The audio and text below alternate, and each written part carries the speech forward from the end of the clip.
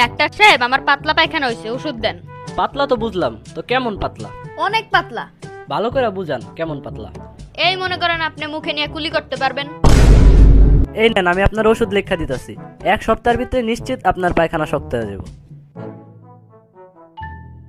আপনার ওষুধ খেয়ে আমার পায়খানা তো অনেক শক্ত হয়ে গেছে। কেমন শক্ত?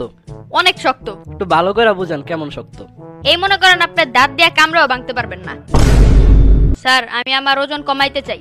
ও তাহলে আপনি প্রত্যেকদিন সকালে দুইটা রুটি খাবেন দুপুরে হাফ প্লেট ভাত খাবেন ও রাতে একটা রুটি খাবেন।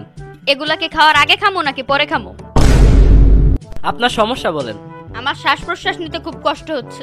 চিন্তা করেন না আমি ওটা বন্ধ করে দেওয়ার ব্যবস্থা করতেছি। বলেন আপনার কি সমস্যা?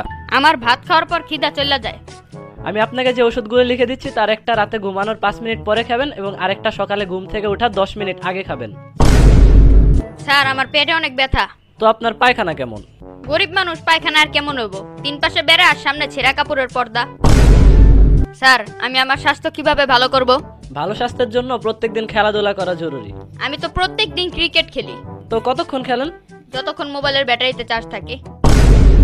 ডাক্তার সাহেব আমি ঘোড়ার মতো কাজ করি গরুর মতো খাই কুকুরের মতো ক্লান্ত হয়ে পড়ি। আমি এখন কি করতে পারি? আমি কীভাবে বলব? আমি তো পশুর ডাক্তার নই।